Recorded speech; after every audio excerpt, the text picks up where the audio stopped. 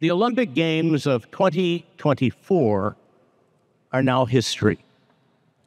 It will be 2028 before the exhilaration of an Olympic year once again causes athletes to envision themselves wearing a gold, bronze, or silver medal for excelling in their own particular sporting events. Mm. The next Summer Olympics and the gathering therein will take place in Los Angeles, California. So we can be sure the excitement will be heightened for the people of the United States as the young athletes from around the world come to our country for those summer events.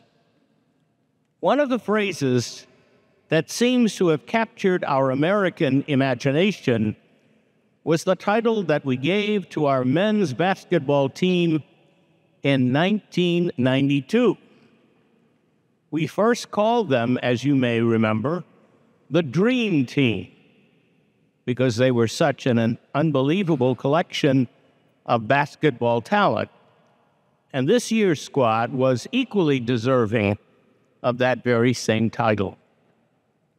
They too were a dream team because they combined into one playing unit some of the most gifted players in the history of basketball. America was rightfully proud of this collection of basketball talent. In much the same way, as our teachers gather once again in this basilica, you are equally worthy of the title of a dream team for a lot of the people. First of all, your students and their parents really think very highly of you. Their parents and families have made tremendous sacrifices to give them the opportunity to have a Catholic school education. They did so because they are convinced that this opportunity will strengthen their gifts, confirm our Catholic faith, and open up possibilities for their future that they would not have in another school. You teachers and administrators and school staff personnel also have played great, placed great hopes in your students.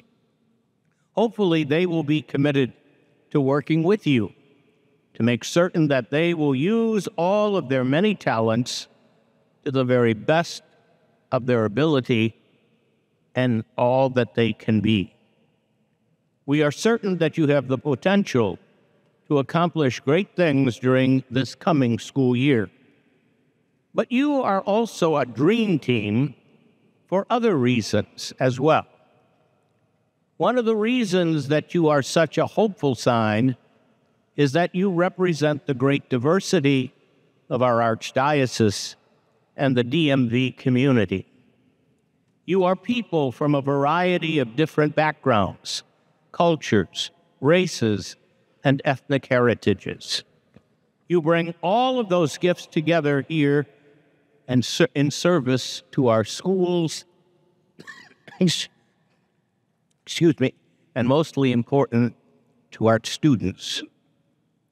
And we are convinced that good things will happen here this year because of your diversity, your skills, and your many unique gifts.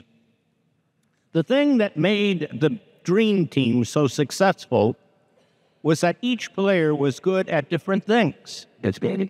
When they brought all of their individual talents together, they were unbeatable. And so are you, my sisters and brothers, at the beginning of this new school year. Isaiah the prophet challenges us all to use the gifts that the Spirit offers for the good of all of God's people.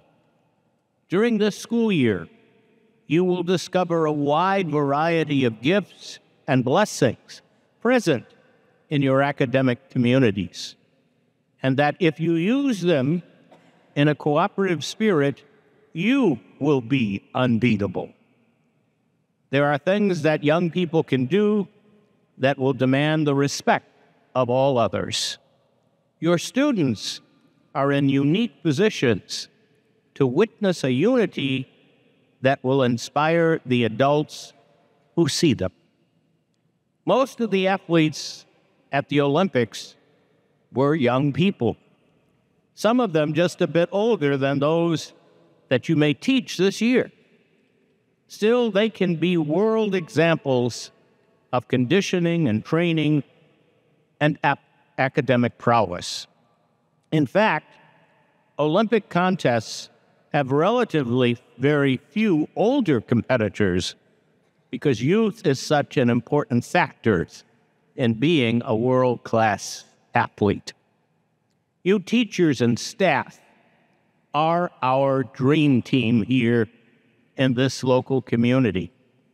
You possess the spirit of truth of which Jesus spoke, especially when you work together as brothers and sisters in service and in service to your students. And you serve as welcome examples of how adults are supposed to live in harmony and in unity. May God's own Holy Spirit, the very source of all of your many gifts and talents, allow you to work well together and to be the dream team that will inspire others to model your sense of unity and purpose. My prayer for you at this opening day Mass of God's Holy Spirit is that at the conclusion of this year, when the faculties from our schools begin their analysis of the past year, that they will all stand in agreement that this year they really did work with a dream team, the dream team of the school faculties and administrators of the Archdiocese of Washington. Thank you for all that you do, for all that you will do, and for being the dream team that will bring home the prize. Amen.